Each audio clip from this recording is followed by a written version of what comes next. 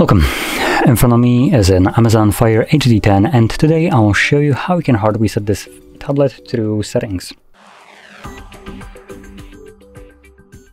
So to get started we're going to open up settings and then scroll all the way down to device options and then select reset to factory default and then confirm by selecting reset and this will begin factory resetting the device and this process will take about like probably two minutes or so give or take. And once it's completed, we'll be presented with the setup screen. So I'll be back once that is visible for me.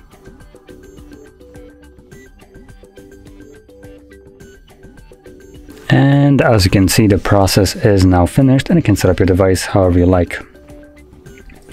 So, if you found this very helpful, don't forget to hit like, subscribe, and thanks for watching.